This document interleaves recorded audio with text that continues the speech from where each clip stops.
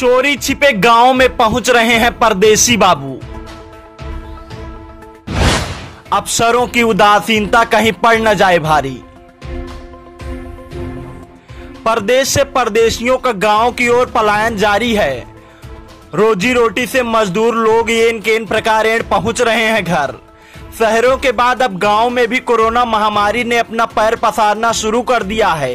हर जगह कोरोना संक्रमितों की संख्या तेज़ी से बढ़ रही है। सूत्रों से मिली जानकारी के अनुसार अधिकतर ग्राम सभाओं में आ रहे प्रवासियों की ना तो कोई जाँच होती है और ना ही क्वारंटाइन करवाया जा रहा है। केवल कागज़ी कोरम ही पूरा किया जा रहा है। यही हाल सुल्तानपुर में है और यही हाल अमेठी में भी। घर पहुँच रहे परदेशियों की जाँच पड़ताल न होने से जहाँ गाँव के लोग उक्त महामारी के प्रति आशंकित हैं तो वहीं नियुक्त जिम्मेदारों की लापरवाही से क्षुब्ध भी हैं। ताज़ा मामला है अमेठी के कोरारी हिरसा गाँव का, जहाँ रात के अंधेरे में आ पहुँचे 35 से 40 परदेसी गाँव में भय का माहौल पैदा कर चुके हैं।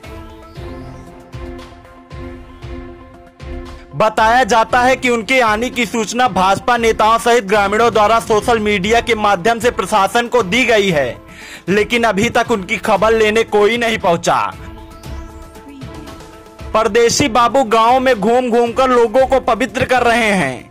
यही हाल सुल्तानपुर में भी है।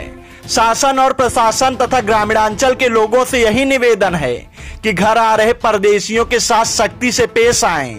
प्रदेश से आ रहे परदेशियों से भी यही निवेदन है कि तबाही और बर्बादी को रोकना चाहते हो तो अपने अपने घरों में बंद हो जाओ। कोरोना है, हल्के में मत लेना।